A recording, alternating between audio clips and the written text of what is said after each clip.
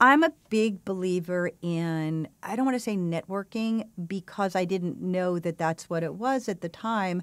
I just, um, I'm very interested in people. I'm very interested in talking and listening to people.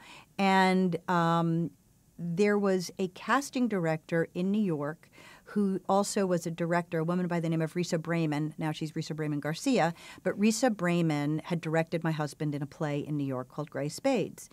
And Risa was very good friends with a talent agent at Triad Artists, um, and that woman was Susan Streitfeld.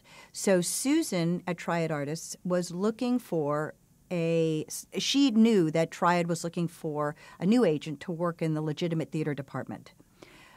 Okay, so I get a call and this is all new to me. I have no idea what it means. I don't know about Triad. I literally know one agency and a few small theaters, and that's about it. And I did have, um, I knew a lot of casting directors because I had been assigned territories, but that was it. Um, so Risa uh, gives Susan Streitfeld my name. Susan Streitfeld calls Triad uh, uh, calls Irv Schechter, and leaves a message. Uh, Susan Streitfeld from Triad. I'd never heard of Triad. I saw the message and I thought, oh, she must be from TriStar, which was a studio. Um, so I called her back, and I said, um, you know, I told her who I was, and she said, "Great, can, can you come in for a meeting?" I said, I don't even know what this is about. Um, she said, Well, we're looking for a new agent. And I thought, Oh, well, this will be great. So I went over. We had a great meeting. I loved her. Very artsy. We had a lot, you know, a lot in common. Um, and she knew Risa.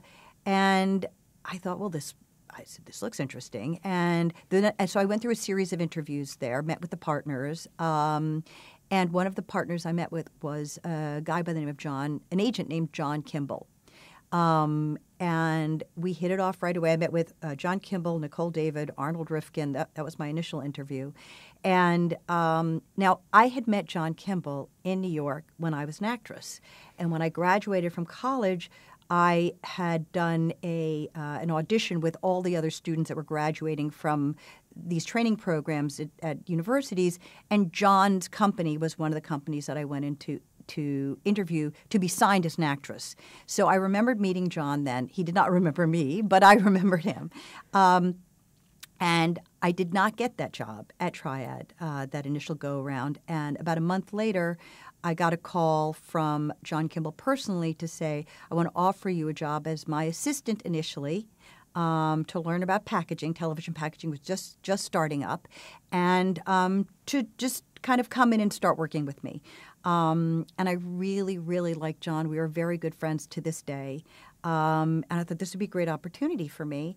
And even though I was an agent, I said, look, can I bring a couple of clients with me? I'm very happy to come in and start learning and then really to watch John and, and see how you work. And um, we hit it off, and I was extremely um, extremely grateful for all the opportunity he gave me. He was uh, uh, a, a, wonderful mentor, a wonderful boss. And um, and it was funny when I left Irv Schechter, I thought you know you just go from agency to agency. I didn't know that you basically get locked out of your office. I mean, when agents go from one agency to another, you have to do it like, you know, under the, the, the shroud of darkness and, and no one can know what you're doing. I went in very innocently and said, um, I've got this other job. I'd like to give two weeks' notice. And my boss said, no, it doesn't work that way.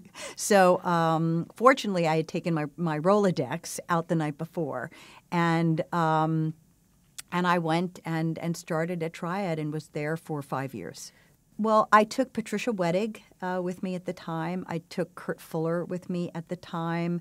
Uh, a couple of smaller clients I signed. Scott Weinger, who ultimately went on to become the voice of Aladdin, uh, and now is a writer.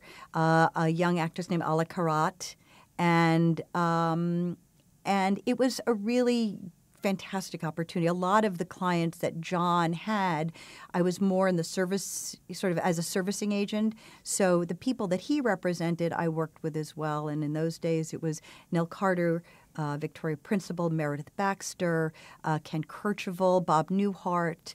Um, when I first started working with him, he represented Fred Gwynne. Um, they were. It was an amazing, uh, an amazing talent roster, and uh, it was a really great opportunity. And I learned about television packaging in those days. Um, the agency represented Roseanne, and Roseanne, you know, had was a stand-up at the time, and one of the agents I worked with signed him, signed her, and um, and was involved in packaging the show. So it was an unbelievable opportunity. Television packaging is the agency puts together all of the elements and as opposed to a, a, a, an actor or actress paying the agency commission, the agency itself, itself takes a commission off of the license fee from the show. And that was basically just starting out. And it was a, uh, an opportunity for agencies to begin to make a lot of money.